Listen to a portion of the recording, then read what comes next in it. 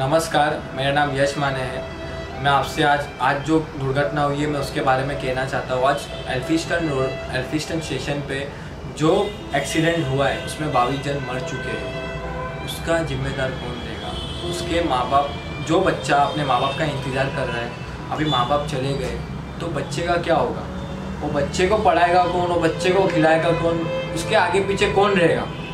अभी जो बच्चे अपने माँ बाप का इंतज़ार कर रहे हैं। जो माँ बाप अपने बच्चे का इंतज़ार कर रहे हो बच्चा पूरा दिन इतने दूर से कभी कोई घोसई विरार से आता है, कोई कल्याण से आता है मुंबई में जॉब करने के लिए, वही बच्चा चला जाएगा। तो माँ बाप को कौन देखेगा? माँ बाप को तो मालूम भी नहीं पड़ेगा कि बच्चा मेरा ऑफ़ हो चुका है। फिर मालूम होने के बाद कितना हर्ट होगा। मेरे को ये न्यूज़ देख के इतना बुरा लगा ना, अभी मैं क्या बताऊँ? इधर की गवर्नमेंट क्यों नहीं जगती है? मैं वो बोलना चाहता हूँ, जब बड़ा एक्सीडेंट होता है, तभी गवर्नमेंट जगती है। उसके पहले गवर्नमेंट को मालूम ही नहीं इधर क्या हो रहा है, कैसा हो रहा है पब्लिक कैसी जी रही है। इधर की गवर्नमेंट को कुछ लेना देना नहीं है। गवर्नमेंट को मेट्रो स्टेशन बुलेट ट्रेन के बारे में लेना देना है। बुलेट ट्रेन इधर लाना है कुछ भी हालत में। गवर्नमेंट इधर की गवर्नमेंट से कहना चाहता हूँ कि तुम मेट्रो ट्रेन बुलेट ट्रेन की बात छोड़ो, तुम इधर के लोगों के जो तकलीफ़ है, उसको हल करो। फिर बाद में तुम बुलेट ट्रेन की बात करो ना। तुम पहले ही बुलेट ट्रेन ला रहे हो। आज एक बाईस जन मरे, कल पूरा ब्रिज गिरता, हज़ारों जन मरते तो उसका जिम्मेदार कौन होता? उसका जवाब दो मुझे। बहुत बुरा लग रहा है सुन के।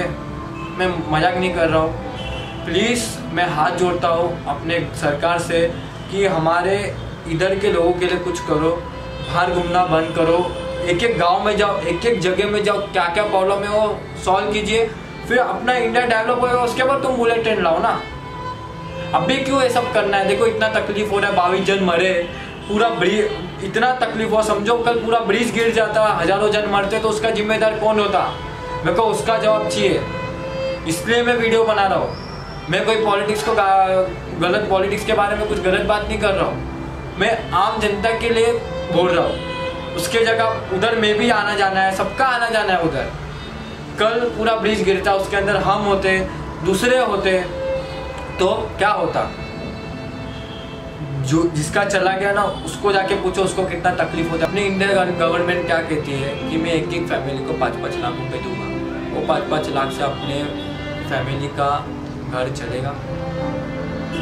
बच्चे का पढ़ाई होगा। क्या है ये? छोटे छोटे छोटे छोटे चीज़ को तुम ध्यान नहीं दे रहे हो, तुम बुलेट ट्रेन की बात कर रहे हो। मैं बस मैं इतना ही कहना चाहता था, और आगे मैं आगे का भी वीडियो देखना, कितना क्या कैसा ब्रिज की इधर प्रॉब्लम हुआ, क्या हुआ, बावी बावी जन कैसे मर पूरा आपको सीनेरियो दिख जाएगा। चलो मैं निकलता हूँ। जय हिंद, जय महाराष्ट्र।